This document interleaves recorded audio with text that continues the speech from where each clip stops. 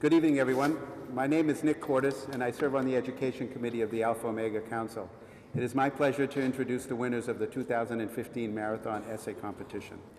The essays of these 10 young people were selected for special recognition out of almost 600 essays that were written.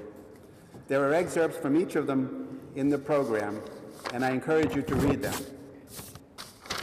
Students, you should be very proud of the effort you made to research and write this essay. We hope that this is just the first of many awards you receive as you continue your studies. So it gives me great pleasure to call each of you forward by grade in alphabetical order to acknowledge and reward your outstanding effort. And please, let's hold our applause until all students have been called. Zachary Blair. Zachary is a sixth grader at Hopkinton Middle School. He is an honors student with a passion for history. He's a member of the student council, enjoys acting, football, and baseball. He would like to go to law school and possibly go into politics. Uh, Alexander Foreman is another young sixth grader at Hopkinton Middle School who could not be with us tonight. Olivia Jones. Olivia is a sixth grader at Hopkinton Middle School. She enjoys playing field hockey and tennis and playing piano. She loves to read mystery novels and directs and stars in iMovies that she makes herself. She is currently rehearsing for the school musical Anything Goes. Congratulations. Will Dion. Some of you may recognize Will from last year. Will is a seventh grader at Hopkinton Middle School. He keeps active by running track and cross country and playing soccer.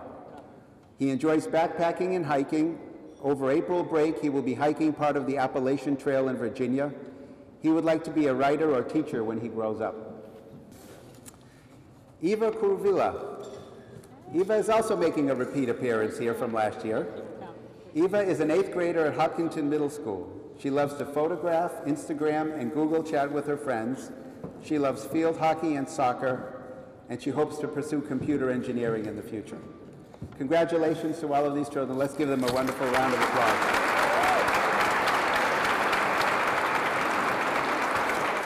where are the kids that just won these essays? Pace yourself in life. You've done way too much. You know? I'm still trying to accomplish what you guys accomplished 12, 13 years. Easy. And are the repeat winners? Eva and Will? Come on, you're showing off now. That's a little bit much. Middle school's about, you know, not going to school, hanging out, just being, having fun, watching games. That's a joke. That's, that was my middle school. I apologize. Uh, yeah, that'll get me in trouble. I apologize again on behalf of that.